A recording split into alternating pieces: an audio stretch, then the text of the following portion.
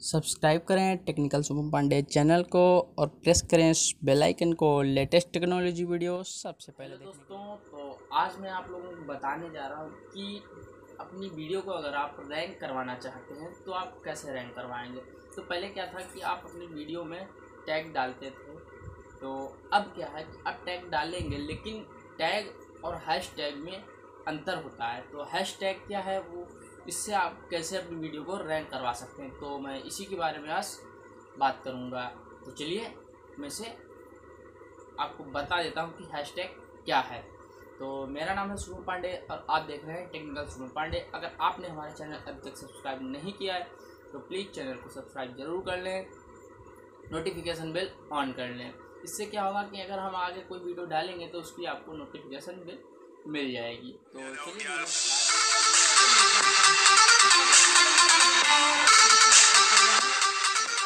दोस्तों हैशटैग क्या है?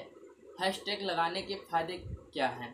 तो हैशटैग जो आप देखते हैं कि अगर कुछ वीडियो जो आती हैं आपकी, जो कुछ वीडियो हैं, आपने देखा होगा कि जब वीडियो आप ओपन करते हैं या वीडियो को प्ले करते हैं तो उसके टाइटल के ऊपर एक बना होता है लिखा होता है। वहाँ पर जो भी ब्लू कलर में लिखा होता है उसे बोलते हैं हैश टैग तो इसको लगाने से आपको क्या फ़ायदा होगा? क्या बेनिफिट आपको मिलेगा इससे?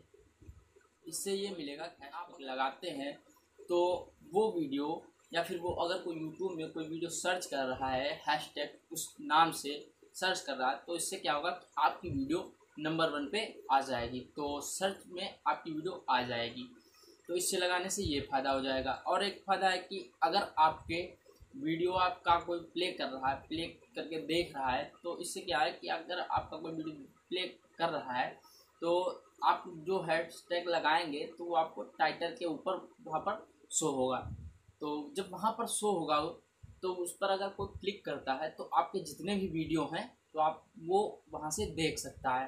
तो हैशटैग कितने तरह के होते हैं, आप हैशटैग में क्या लगा सकते हैं? तो हैशटैग में आप जैसे कि मेरा जो वीडियो है तो मेरा चैनल है कि टेक्निकल सुपर पांडे ठीक है?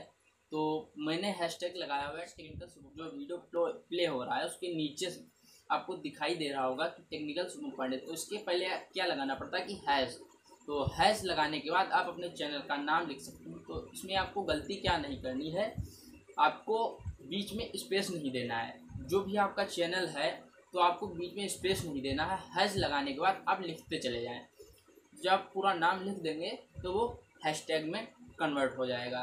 तो अब हैशटैग या तो आप टाइटल में आप अपने टाइटल में लगा सकते हैं या फिर आप डिस्क्रिप्शन में लगा सकते हैं। तो टाइटल में लगाने से क्या होगा कि आप, अगर कोई वीडियो प्ले कर रहा है या फिर सर्च कर रहा है तो वो सबसे पहले आपका वीडियो आ जाएगा टाइटल में।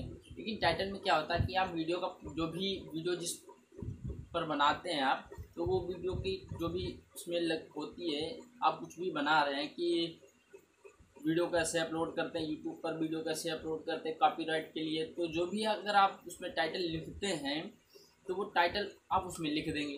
तो जो भी उसकी जानकारी वो आपने टाइटल में लिख दी। तो हैशटैग लगाने से उसमें कोई फ़ायदा नहीं क्योंकि आपने वही चीज़ सर्च करेगा। फिर भी वही वीडियो आएगा।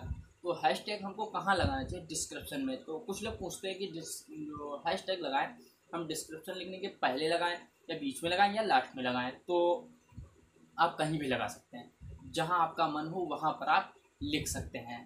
ठीक है? तो हैशटैग हम कितने लगा सकते हैं?